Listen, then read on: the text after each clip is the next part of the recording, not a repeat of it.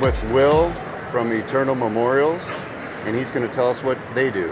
Okay, so right over here behind me to my right, um, this is Eturnal Memorial's flagship product. These are 3D printed urns, completely custom. We can create absolutely anything from scratch. So all we really need is a photo of the desired piece, and then our graphic designer does up a 3D render. So it's a digital file that we email off to the family that they can flip all around, look at it from all different angles. If there's any other adjustments they want made to it, they let us know. Uh, once they get the once we get the approval, then we run it through our 3D printer. So it usually takes about six hours to print a full-size urn. These ones are about 200 cubic inches, so they can fit a full-size body. Um, and it's made of a, a, a, fine composite resin. So it's uh, it's very durable, and obviously we can ship across the country. So this is the, the Las Vegas Knights Zamboni, the ice